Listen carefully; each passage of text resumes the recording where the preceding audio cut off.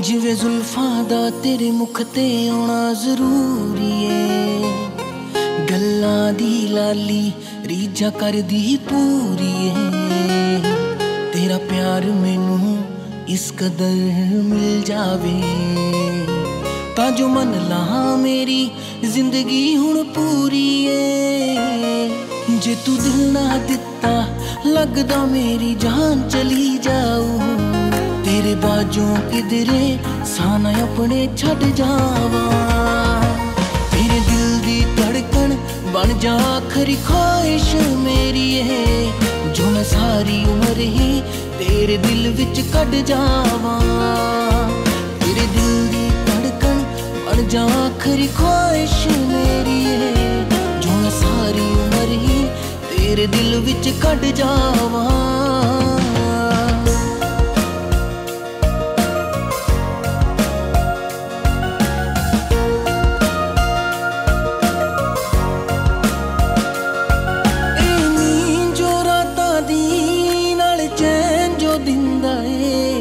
ਸਭ ਮੁਕਰਿਆ ਮੇਰੇ ਤੋਂ, ਤੂੰ ਆਇਆ ਜਿਸ ਦਿਨ ਦਾ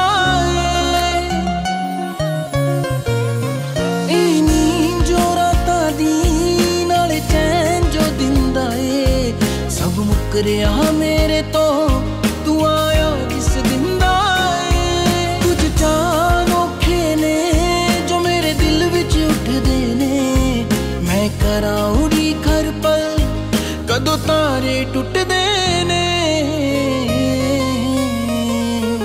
ਅੱਖ ਹੁਸਨ ਤੇਰੇ ਨੂੰ ਦੇਖ ਕੇ ਬੰਦ ਹੋਣਾ ਹੁਣ ਭੁੱਲੀਏ।